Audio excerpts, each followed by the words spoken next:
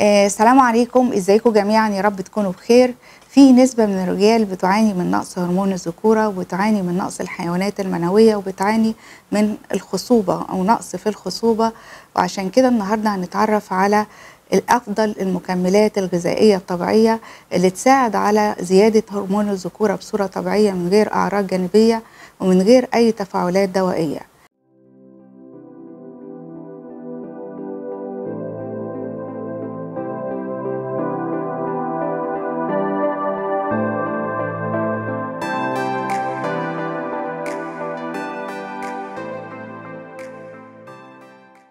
أهلا وسهلا بيكم. معاكم دكتورة سامية سليم استشاري طب الأطفال والغدد والسمنة آه زميل بكلية الطب بجامعة عين شمس واستشاري تغذية علاجية. يا ترى إيه هي المكملات دي؟ ويا ترى هل في نصايح تانية مهمة جدا تساعد الرجال على زيادة وإنتاج هرمون الذكورة؟ أول حاجة من هذه المكملات حاجة اسمها D-aspartic acid. D-aspartic acid ده عبارة عن حمض أميني. الحمض الأميني ده له دور فعال في زيادة إنتاج وتكوين هرمون الذكورة وزيادة وإنتاج تكوين آه، الحيوانات المنوية وفي نفس الوقت تحسين جودة الحيوانات المنوية وفي نفس الوقت تحسين الخصوبة.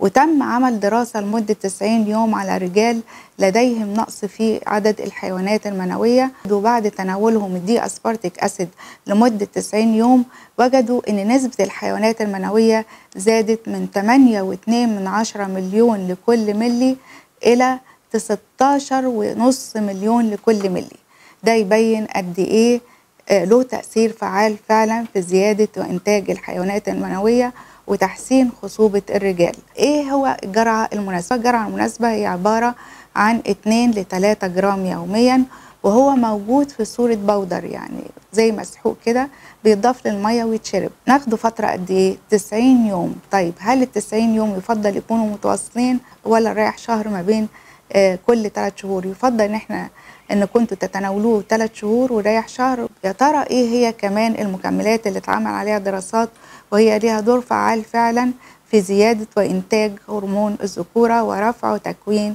الحيوانات المنوية وتحسين جودتها؟ خلاصة عشبة طبيعية اسمها Tribulus terrestris العشبة دي بتستخدم من عدة قرون في تحسين خصوبة الرجال وهي لها دور فعال فعلا في زيادة تكوين وإنتاج هرمون الذكورة وزيادة وتكوين إنتاج الحيوانات المنوية وفي نفس الوقت بتحسن الخصوبة وبتحسن الأداء الجنسي بالإضافة إلى إن هي كمان ملهاش أي أضرار ولا مضاعفات جانبية ودي حاجة كويسة. اتعمل عليه دراسات كتيرة قوي منها دراسة استمرت 90 يوم على رجال لديهم نقص في عدد الحيوانات المنوية وجدوا إن الحيوانات المنوية زادت بنسبة 17% Tribulus terrestris العشبة دي في منها دواء موجود في الأسواق اسمه Trib Gold وده كبسول. آه حلو قوي الكبسولات دي أو الأقراص دي تتاخد مرة واحدة في اليوم أو مرتين في اليوم على حسب مدى النقص في الحيوانات المنوية. لمدة 3 شهور بتحسن فعلا عدد الحيوانات المنوية وبتحسن خصوبة الرجال. ثالث نوع من المكملات وهو معروف لينا كلنا هو فيتامين د. دراسات أثبتت إن في علاقة وطيدة بين نقص نسبة فيتامين د في الدم ونقص عدد الحيوانات المنوية ونقص نسبة هرمون الذكورة في الدم. مهم قوي نعمل check up ونطمن على نسبة فيتامين د في الدم. والناس اللي عندهم نقص فيتامين د حلو قوي يتناولوا مكملات فيتامين د على حسب فحوصاتهم على حسب وزنهم على حسب آه، ظروفهم الصحية. أيضا من الحاجات الطبيعية اللي هي فعلا ليها دور فعال في زيادة وإنتاج هرمون الذكورة واتعمل عليها دراسات كتيرة قوي معروفه للناس كلها وهو الزنك. الزنك له دور كبير قوي في عمليات كيميائية كتيرة قوي في الجسم ومش بس مفيد لزيادة وتكوين هرمون الذكورة ده مفيد أيضا للدماغ مفيد أيضا للعين مفيد أيضا للمناعة مفيد للجسم كله. فالزنك من الحاجات الحلوة قوي اللي هي فعلا بتساعد على زيادة وإنتاج هرمون الذكورة وتحسين خصوبة الرجال وزيادة الحيوانات المنوية. طب الجرعة المناسبة قد إيه؟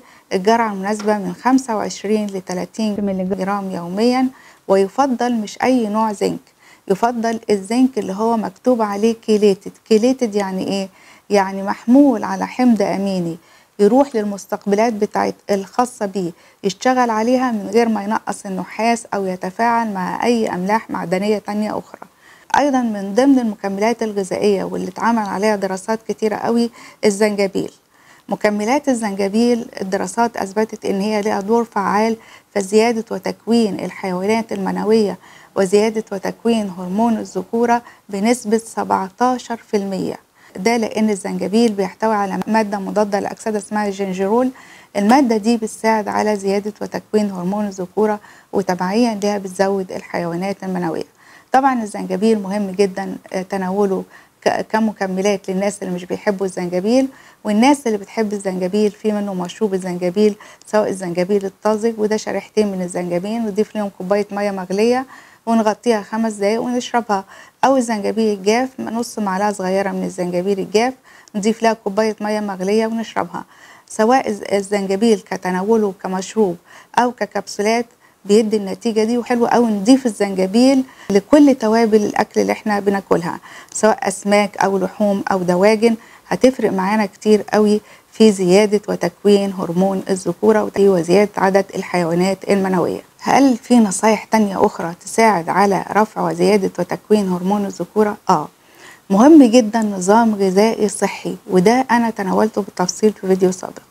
مهم جدا تجنب القلق والتوتر على قد ما نقدر لأن القلق والتوتر بيقلل من تكوين وإنتاج هرمون الذكورة وتبعيا له بيقلل من تكوين وإنتاج الحيوانات المنوية. مهم جدا ممارسة الرياضة بانتظام.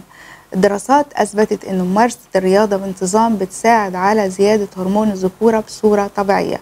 مهم جدا النوم فترة كافية. من 6 ل 8 ساعات. دي بتساعد أيضا على زيادة وتكوين ورفع هرمون الذكورة بصورة طبيعية وتبعيا لها بتزود نسبة الحيوانات المنوية وبتحسن خصوبة الرجال. مهم جدا تجنب التدخين. تجنب التدخين لأن التدخين بيعمل تصلب في الأوعية الدموية وبيقلل الدم الواصل لل Leydig cell المسؤوله عن إنتاج الحيوانات المنوية. عشان كده مهم جدا تجنب التدخين. طبعا التدخين له أضرار تانية للجسم على الجسم كله يفضل تجنبه نهائيا. أيضا يفضل تجنب شرب الكحوليات لأن أيضا لها دور فعال في تقليل نسبة هرمون الذكورة وتقليل نسبة الحيوانات المنوية وبتأثر على خصوبة الرجال. مع تمنياتي بالصحة والعافية للجميع والسلام عليكم.